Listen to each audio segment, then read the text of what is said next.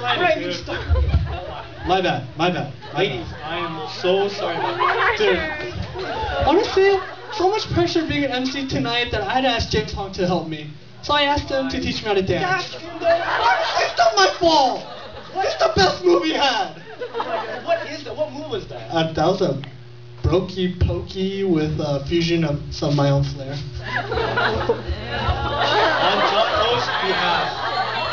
I would like to apologize. I'm so sorry about that. Ah, I'm sorry, um, us brothers were getting